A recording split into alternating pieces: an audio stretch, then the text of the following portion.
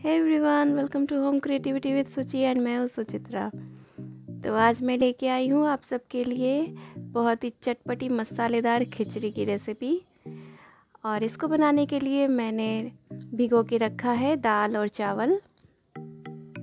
तो एक कप चावल, एक कप दाल लिया है मैंने। आप चाहे तो दाल थोड़ा कम भी कर सकते हैं। इसे अच्छी तरह से वॉश करके और लगभग डेढ़ इंच ज़्यादा पानी मैंने डाला है। आप देख रहे हैं, चावल और दाल है। उसके ऊपर, डेढ़ इंच के ऊपर लेवल तक मैंने पानी डाल दिया है। और साथ में नमक, हल्दी और थोड़ा सा सरसों तेल डाल के मैं इसे बॉईल कर लूँगी। बस एक सीटी लगाऊँगी। तो ये देखिए, आप स्वाद अनुसार नमक डाल लें और हल्दी और थोड़ा सा तेल। और इधर दूसरे गैस पे मैंने कढ़ाही में तेल गरम किया है और इसमें डाल रही हूँ हींग और पंचफोड़न और साथ में कटे हुए प्याज। तो पंचफोरन डालने से खिचड़ी की जो खुशबू है वो एकदम चेंज हो जाएगी, बहुत ही यमी टेस्टी हो जाएगी। आप चाहते हैं तो सिर्फ़ जीरा भी और तेज़पत्ता डाल के भी बना सकते हैं या फिर आप पंचफोरन और तेज़पत्ता डालिए। और मैं इसे बना रही हूँ सब्जियों के साथ।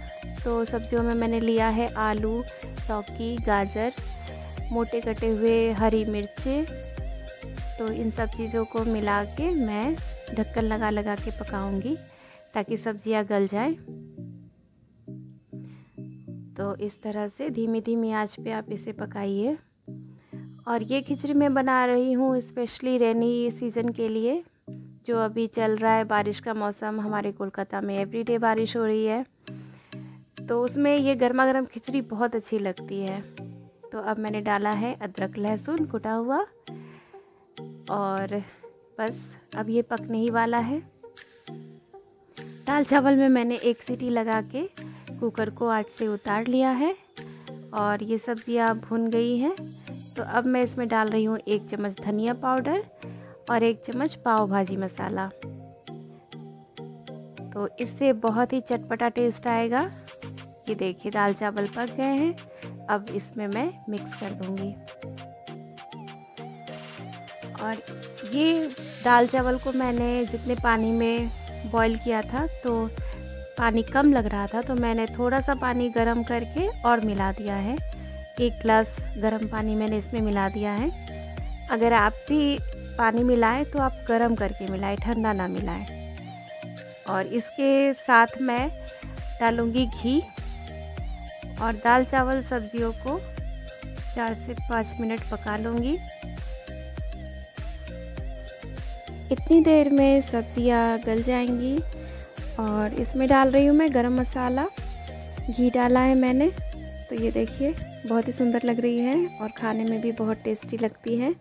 इसके साथ आप गर्मा गर्म एक पोच ऑमलेट सर्व कर सकते हैं, या फिर अचार के साथ, या बैगन के पकौड़े, या फिर आलू का भरता। बहुत सारी चीज़ें हैं जो आप इस खिचड़ी के साथ सर्व कर सकते हैं।